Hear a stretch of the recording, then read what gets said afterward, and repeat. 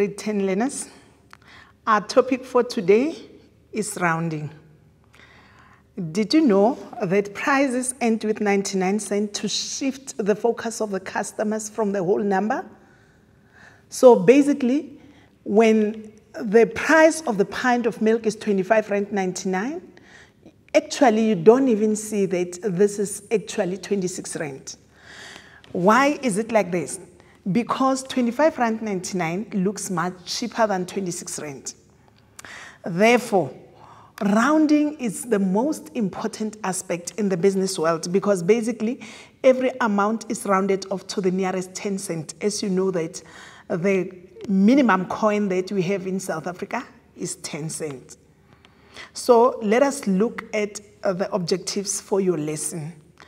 At the end of this lesson, you should be able to use decimals appropriately when rounding off.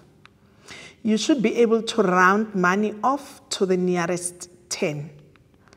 You should be able to use the given context to round up and even to round down. And now let us have a look at the content that we are going to cover in this lesson. We are going to do rounding off, rounding off to the nearest 10, rounding down, as well as rounding up. So let us have a look at the pre-knowledge, what you've acquired in your previous grades before uh, that we can use now as we do this uh, rounding. The pre-knowledge that we are having is working with decimals. I hope you all worked with decimals in your lower grades. You were all able to determine the place value from a given number.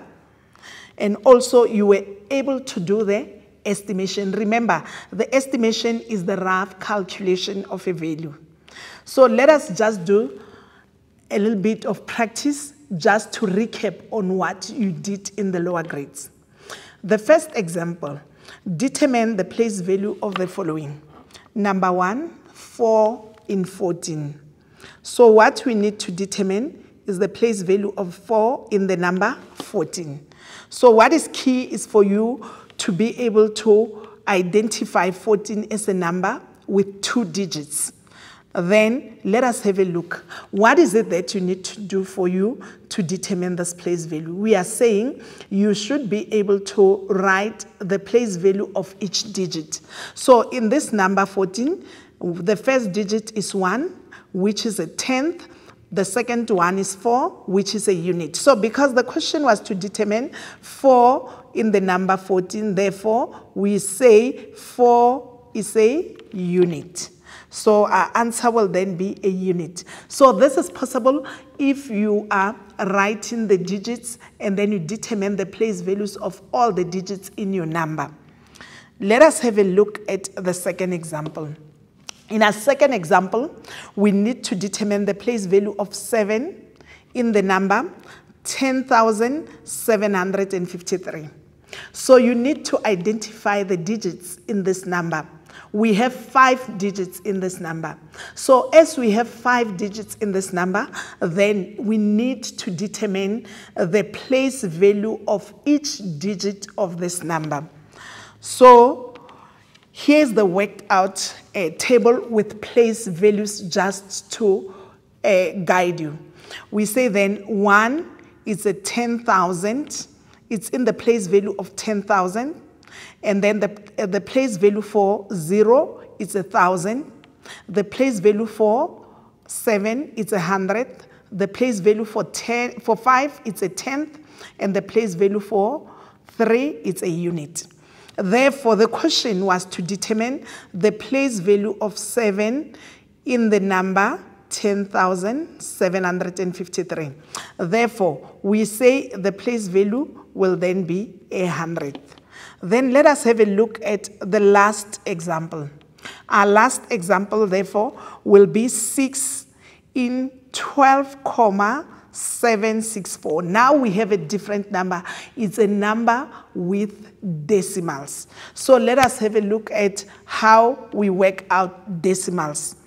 Okay, when you have decimals, basically, we're still looking at the digits. The digits that we have in this number are five. So since we have five digits once more, we are going to complete the table just to write the digits that we are having. So firstly, we will have a look at the whole number.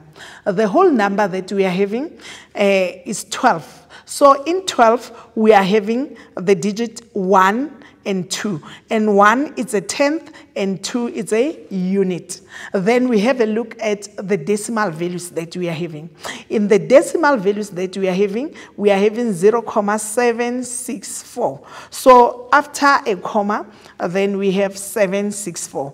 Then we say the decimal that we are having, we have 7, 6, and 4. Then the first value after a comma, it's a first decimal value, which is a 7.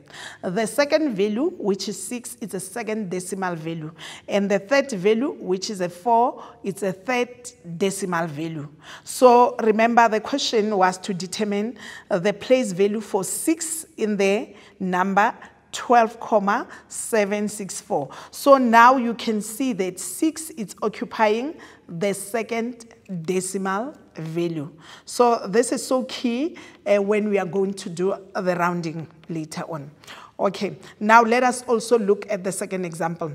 To determine the estimate, uh, the estimated values of the following, the first question uh, is 1,34 by 5,4. I hope you have your calculators with you and then you are calculating with me as well. Let us calculate together now. Uh, we multiply 1, comma 1,34 by 5,4. I hope you have your answer now. The answer that we are having is 7,236. So now, I go back to the question of estimation. What is estimation? Estimation is finding an, an approximate value by either adjusting upwards or adjusting downwards. So now, looking at this value, when we estimate if this value is less than 5, we are going to eliminate the whole decimal. Therefore, we say this is approximately 7. Let us have a look at the second example, which is the last example. Of course, we are having 6,82 by 2,9. Let us get the answer together. Press your calculators as well. I'm having 6,82, multiply this by 2,9. The answer that I'm getting, therefore, is 19,778. 8. Therefore, we say because 7 after the comma, the first value after the decimal is greater than 4. From 5 upwards, then we adjust upwards. By adjusting upwards, when we do the rough estimation, we mean that we add 1 to this whole number. Therefore, our whole number is going to be approximately 20. This is the rough work. Can we please take an ad break and then just have your water and come back. We'll continue after this.